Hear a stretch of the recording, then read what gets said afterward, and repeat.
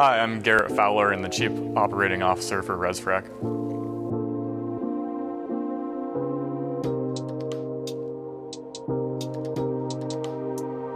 I'm Mark Bohorich, uh, former founder of Q Engineering and big time reservoir nerd. Uh, excited. Well, Garrett, thanks for sitting down with me. Uh, here at Evolve, we're talking about uh, what makes the next thing better. So uh, I'm Evolution, excited. so to say? Evolution is, is I think, implied in that. Um, and, you know, it's exciting to sit down and talk to you in particular because you and I actually have spent a lot of time brainstorming in cafes at conferences for for the last several years. It's been fun to watch you uh, go from uh, next thing to next thing. And I think centering around the same general vortex of how do you model and make better decisions. Um, what led you to ResFrac and what are you doing? Yeah, well, I mean, I, th- I think as you said, it all revolves around the similar uh, theme, which is this subsurface, this mystery that we're always trying to find more about. You know, um, we're interpreting these diffusive signals from all over, and we're trying to like form that into a coherent picture. And there's a variety of methods, a variety of approaches.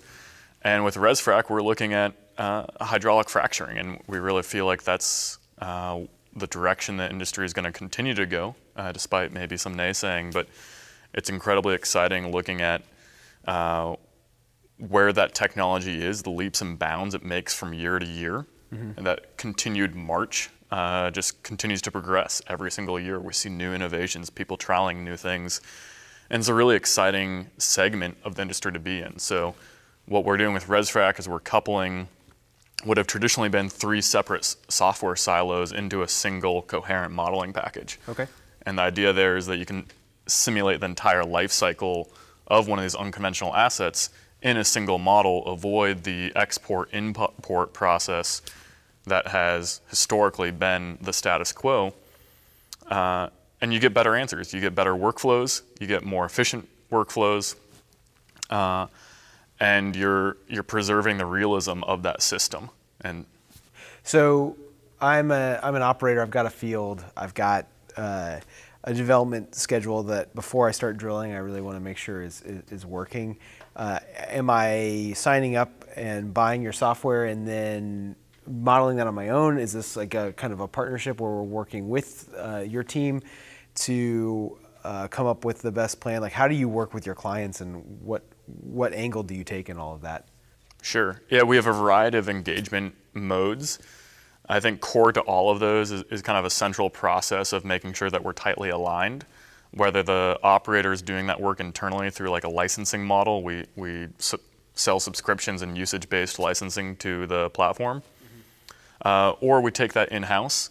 But even if we're doing a consulting project, we follow uh, a progression that makes sure that we're closely in sync with that operator because one of the consistent feedbacks we heard uh, as growing the company was you know kind of the, the, disconnect where you would just offload a bunch of input data and then three months later a consultant comes back with an answer and you don't know whether it's really grounded in reality and uh, what assumptions were made uh, so we really structure around like a, a, a tight uh, collaboration with, with all of our operator partners.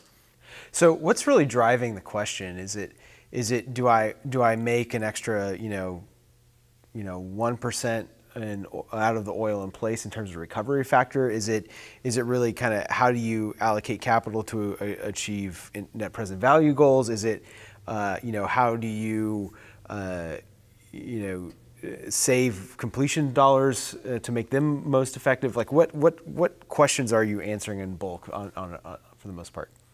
Yeah. So, I mean, it, the pithy answer that you always get when you go to a customer is like, what, what do you want? Well, I want to save money and make more oil. Right? It's like, great. uh, but really the way I view it is there's, there is this continual innovation cycle uh, where people are continuing to improve on both fronts, right? Like we've seen cost per foot of lateral dropping drastically. Sure. Um, there was a, a, paper from Bailey et al. that showed a 50% productivity increase per foot lateral in the Eagleford, mm-hmm. right? So we're, we're, doing both right now, and, and the questions that ResFrac helps uh, our clients answer is, what should you be trying next, right? Putting some physics behind that uh, natural investigation and experimentation process where you know you shouldn't be shooting from the hip, but that should be based in physics, and then you can start optimizing on things. So you have the idea that okay, maybe I don't need as much proppant because the guy over the fence pumped less proppant. Well, do you know the rock is the same?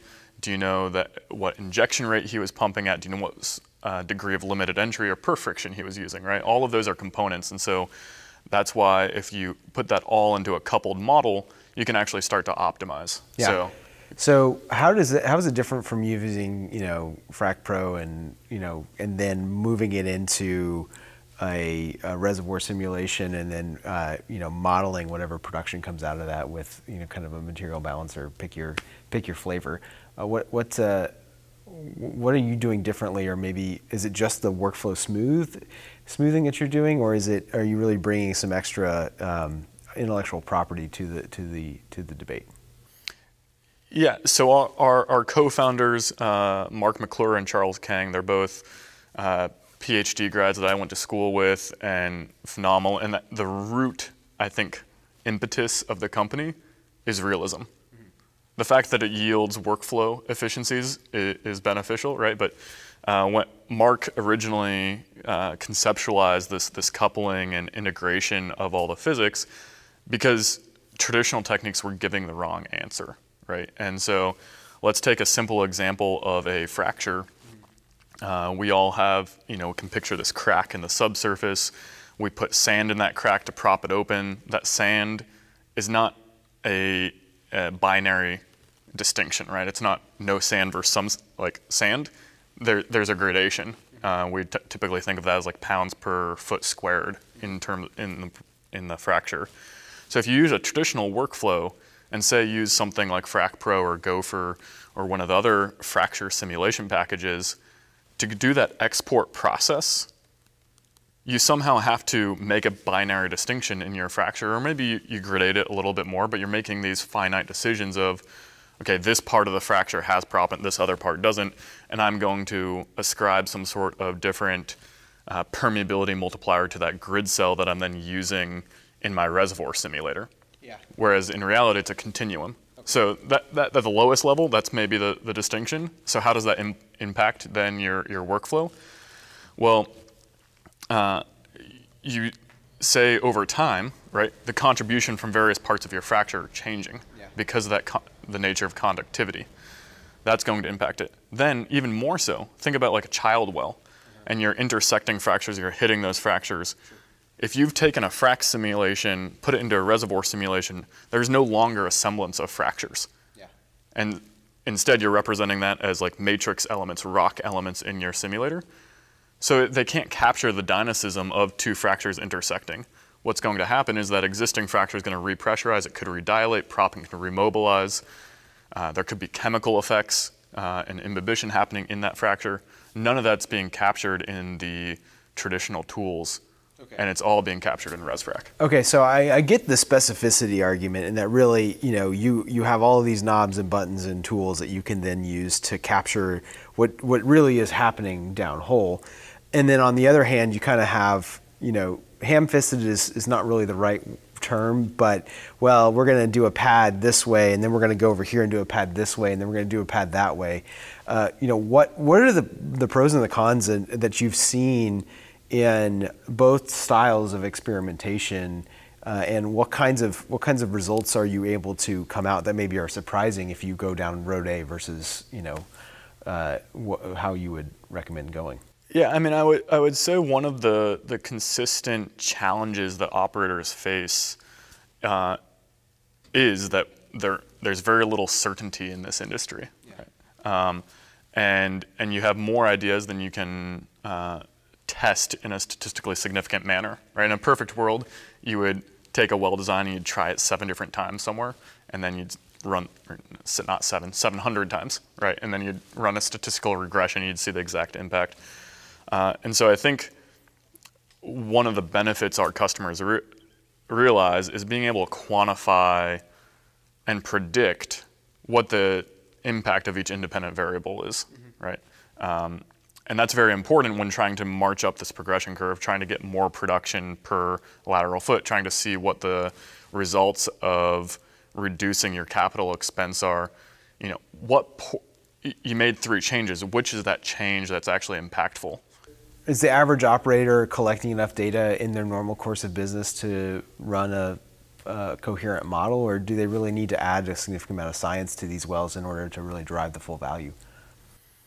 Uh, I, I, think the average operator is, um, you know, th- either through data trades or through their own kind of science pad or science drilling. Uh, they collect enough diagnostics, and what we see is that those diagnostics are reasonably extensible mm-hmm. over a region. Okay. Right, so you don't need to be running microseismic on every single well. You don't need to do geochem on every single well, but doing that on a selection of wells or through data trades really enlightens a lot of the information that we feed into models and can calibrate and constrain then the results before we bring those into a predictive mode.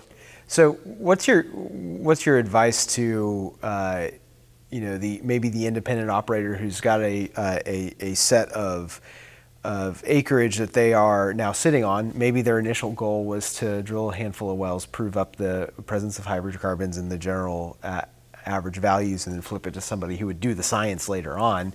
Do they have do they have options? Like, is science even possible uh, for for somebody like that? What is that? How long does it take? You know, in my mind, a reservoir simulation is months to get an answer for one well, and by then you're already you know so far down the road. Like, what is? Are there some shortcuts or maybe some general rules of thumb that you've been able to un, under uh, to discover like you know just pump more sand and you're fine or like what like, what, like how do you what, what have you seen that would be helpful to, to that to that operator? Yeah well you know I, my, my generic answer always is let's model it right? Um, but uh, sure there are some some trends and, and taking a step back like the the highest level recommendation I would I would say is the, the operators that we've seen be most successful are those that really embrace like the scientific method right? So what am I trying to achieve, make a hypothesis, and then assess the results against that hypothesis. And uh, what we've seen, certainly in the last decade and even just last few years since we, we stood up ResFrac, is some trends that are, are pretty consistent across many basins. So uh, limited entry, right? Uh, raising that perf friction, concentrating on, on uh, perforation and cluster efficiency uh, and, and, getting those up with higher back pressure. Uh, I would say really being diligent about permeability estimates sure. because that has just such a overprinting impact on well spacing, cluster spacing, fracture driven interactions, frac hits, whatever you want to call them. Do, do, most people end up being a little bit too high or a little bit too low on those when, when you first start a model? Painting with a very broad brush, I would be tempted to say I see more permeability overestimates than what shocking! okay, fine. Yeah, maybe not that broad of a brush. Well, it's uh. not. It's, it, you know, it's it's hard to it's hard to model because you're trying to match a curve. Um, and it's easiest to change the variables maybe that you understand the best and permeability is something you can inherently you know translate uh, so it, when I was modeling reservoirs, at least, it, it was an easy one to, to, to tweak. Um, sure. Well, and it ties over from conventional to unconventional. Sure. So those making the transition, permeability is a familiar parameter. Yeah. Easy place to go. So uh, has this has your technology been tried in, in one particular area in one particular you know county and, and have you seen those results kind of ex- extend into other uh, developments or plays, or, or, are they, or you just kind of have a, a you know a, a, fruit salad of, of inputs at this point, all looking promising? Yeah. So one of the advantages of what we do is that it's a physics-based model, right? And so it, it's broadly applicable, and not not a function of the training data that you throw it put into it. Uh, and so since uh, launching the co- company commercially back in 2018 We've worked in every major North American basin, uh, Vaca Muerta, one overseas, uh, and every single application has been successful uh, of ResFrac in terms of modeling and, and, seeing that. And we do see different trends in different industries, right? Because right. the rock is different right. in, in, different basins. Basins, sure. Yeah. um, because the rock is different and, and, things change. So again, just like coming back to that permeability um, comment, right? We one of the common ways to get a permeability estimate is through a di- diagnostic fracture injection test, DFIT. Uh, Dr. Mark McClure, one of the co-founders, he's published quite a bit about this. There is a possibility to, uh, in a gas shale, to interpret a DFIT in an incorrect way that would yield a permeability esti- overestimate of like two orders of magnitude or three orders Sure. of magnitude. Um, and that is certainly a difference then between gas and oil, uh, just because of that inherent uh, assumption or input data that you're putting into a model in terms of permeability. Uh, and then the different fluid types, um, ash beds, right? So um, there's a couple kind of exploration, uh, cutting edge plays now that really have to deal with a lot of um, uh, ash, and, and that's going to have a very different dynamic on fracturing. Uh, and so that's going to yield a different result. So um, that's where I'll be very curious and, and hope to play a role in, in the international expansion of hydraulic fracturing because the rock's just so much different, right? So I, under, I totally understand modeling and simulation from a from a front end exploratory uh, process. I think that is you know that that is very well understood. But if you've already got your field, you've already drilled a handful of wells, you have a lot of data. Is modeling an appropriate exercise at that point? And if so, you know, give us some boundaries. Like, are you are you talking about like a percent improvement? Are you talking in terms of production per well? Are you talking about maybe you know, percent improvement in terms of cost reduction through optimization? Like, what what variable are uh, clients who undertake a significant amount of of simulation in order to solve these problems? What variable do they tend to end up tweaking? Sure. Well, let's start high and then and then go detailed. I mean, if we just return back to that original citation I talked about at the beginning in the Eagleford with a 50% improvement in productivity, that was over a six-year period. And heavily influenced by proppant, yes. Uh, you know, what if we'd done that in one year? Yeah. And I think that's what modeling helps you do, right? Is you, some of these changes, like it, it took us how many years to discover limited entry? Sure. Models could have predicted that, right? And so if you had applied models earlier on in that development, you can accelerate that innovation cycle.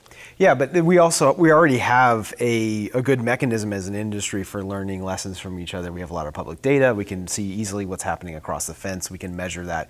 There, it does take time to see how good a well really is because the IP isn't necessarily correlative to uh, uh, to total EUR.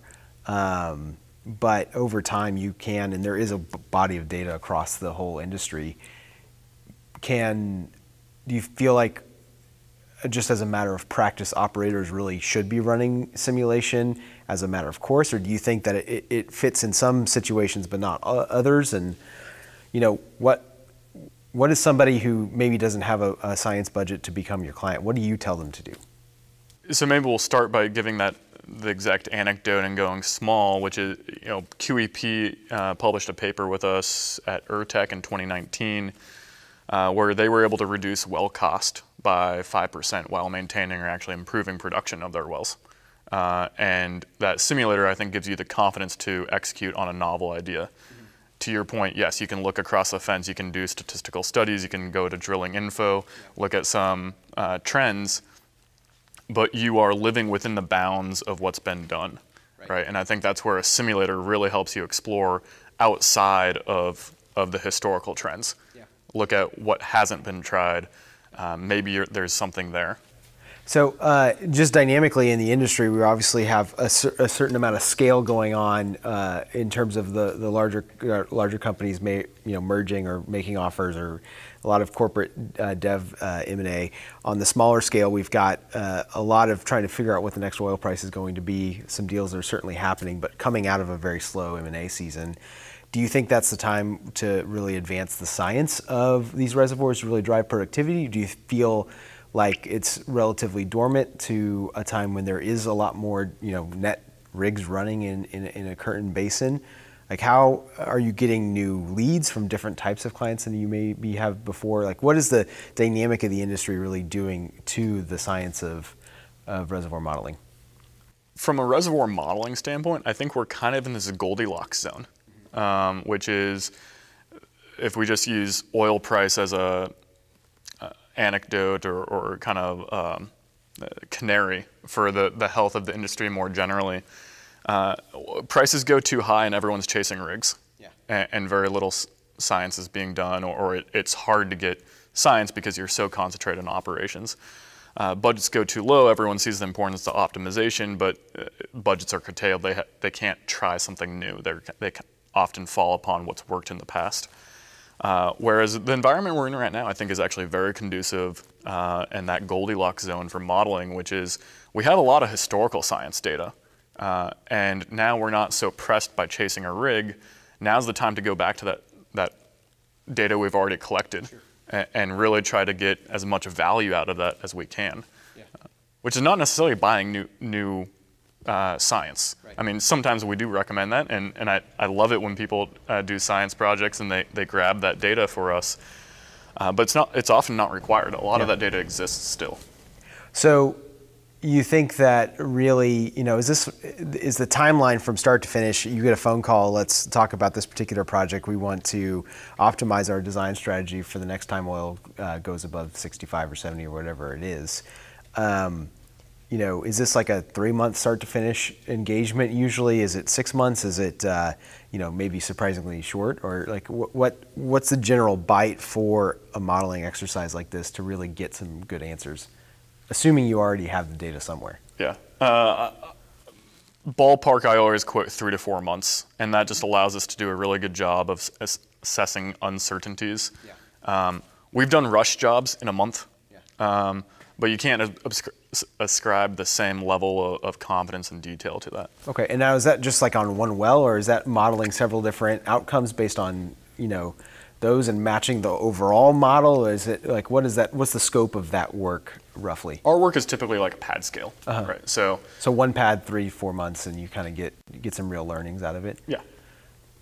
Well, that's exciting. Uh, what, what do you see maybe down the future in technology? Like, do you see this kind of work and maybe the contribution of uh, maybe adjacent technologies being really exciting? Uh, what what what do you what do you get excited about that's not branded ResFrac? Well, I'm gonna I'm gonna plug ResFrac Of course, yeah. of, right, like, but uh, no, I, I think the last year there have been maybe three or four real uh, interesting trends being um, kind of emerging out of that unconventional region uh, for oil and gas operators. Uh, one, uh, EOR, right? Looking at huff and puff. Uh, a couple people are even doing like water injection or continuous gas injection, miscible gas injection, gas fracs, energized fracs.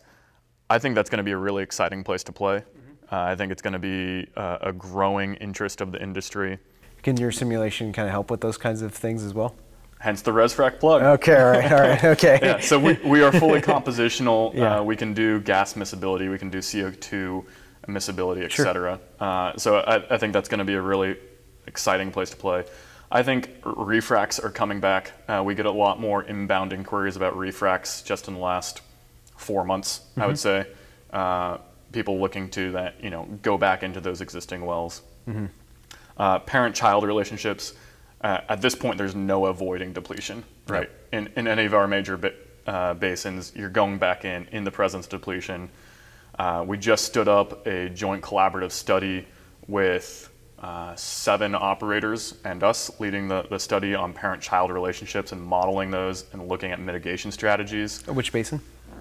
all basins. Oh, so we have Montney, Delaware, Midland, Bakken represented. Yeah. Um, apologize to one of you if I, I missed your basin, but uh, seven operators with uh, I think 11 data sets submitted, uh, and so we have a really nice cross section of the industry across different basins to look at what's driving those parent-child relationships that we keep hearing about. Uh, and then the fourth one that I'd em- emphasize, and I think is really uh, an exciting place that we hear more, particularly oil majors, starting to talk about, is enhanced geothermal. So EGS. Uh, it supplies that base load electricity that uh, is a, a real shortcoming of, of some of um, the renewable energy push. And as subsurface experts, the oil and gas industry is really well poised to capitalize upon this uh, revi- revitalized interest in EGS. So uh, we work with, with one of the top companies right now on it. Uh, we've seen a couple more high profile projects uh, in the media recently. So Forge and Deep, they all have great acronyms, right? Uh, I think that's a space that oil and gas operators are going to start to play in in a big way. And it's something that our software is uniquely ca- capable of because Yeah. uh, it's doing the fracturing, it's doing the reservoir flow, and it's thermo. Yeah. So we can do all the thermodynamics of the simulation. So, uh, just kind of summarizing it, you're you're here for uh, you know the exploratory. What could this possibly be? You're here for the you know what did we do in the past and how can we improve it? You're you're here for uh, what the future of oil and gas might look like, whether it's uh, you know more hydrocarbon extraction or, or kind of these. Um, uh, alternative energy sources, at least for direct power source uh, generation. Uh, maybe stepping back, uh, uh, you know, one more one more level. What what do you think is exciting about oil and gas in particular, and do you think it's destined for destined for uh, the graveyard, or are you are you excited about like what is happening here and what what, what what's going to uh, happen in the midterm? Well, I mean, front and center industry is not going away. Um, uh, Scott Tinker, Mark Mills, recently in the just couple last weeks, there's been uh, testimonies to the, to the Senate. There's been letters to the DOE. Uh, it's here to stay. I mean, the the material balance you have to do to think of going into an entirely renewable grid just boggles the mind, right? It, just doesn't exist. The the best quote I heard was, "Carbon neutral is not nature neutral," right? So, you know, every pound of battery takes uh, 500 pounds of mining to produce it. It- It's not sustainable. So the industry is here to play or to stay.